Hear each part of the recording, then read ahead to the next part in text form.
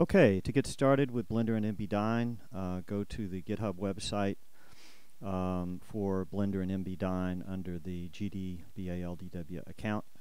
Um, then just simply go over to download zip, download the zip.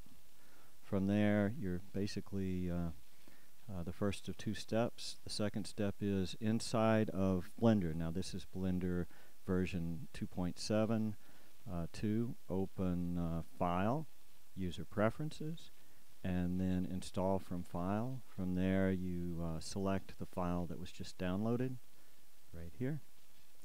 Um, and then uh, once you select that uh, as install from file you'll see STEM has been added to the categories. Select that and you'll see that um, STEM uh, has MBDyn modeling and simulation. Click that and you're good to go. If you'd like to keep this um, in your settings, say save user settings, and every time you start Blender it'll be installed. That's important if you open a uh, saved file uh, you'll need to have this uh, add-on installed.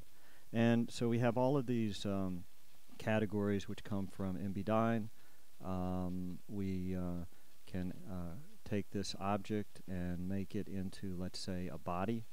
The body will have a mass of 1 a 3 by 3 matrix. That matrix will be an identity matrix. Select OK. Okay, that's our element. And then let's say, oh, we want another element, which would be gravity.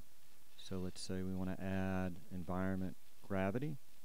All right, we'll have gravity. It'll be on a unit drive on a 3 by 1 vector. The 3 by 1 vector will make it minus 1 here. Click OK. So good. So now we have our uh, two elements. Um, uh, before we can run MBDyn, we need to save the Blender file. We'll do um, uh, save, and I'm just saving it in my temp folder. Once it's saved, now in Actions, we can create the MBDyn file.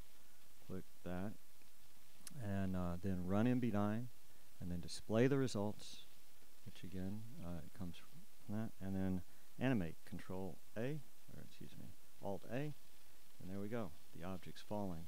We have one other uh, way to do this. We can uh, create a new scene, and in this we'll um, again add a uh, mesh object, and I'll show the um, uh, using a frame uh, with a rotating reference frame.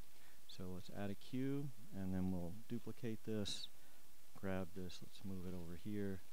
Now, um, uh, now what we'll do is first create a couple of matrices.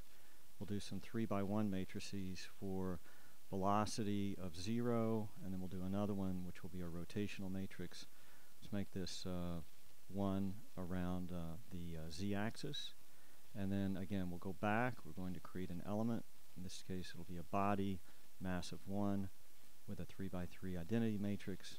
So there we go. We've got our those two. And now we'll go to frames, and we'll create this reference frame between the body and this will be the reference frame. We'll add the frame. Uh, the linear frame will be, uh, vector will be 0. The, uh, this will have that 1 in the z-axis. Good, so we're okay. That's the 1 in the z-axis, that's 0. From there, we uh, create the MBDyn file. Then we run MBDyn, and we display the results, and animate, and you'll see off it goes. It's, uh, it's uh, then whipped off the end of a string and spinning. So there we go. All right, uh, that's your quick introduction. Um, enjoy.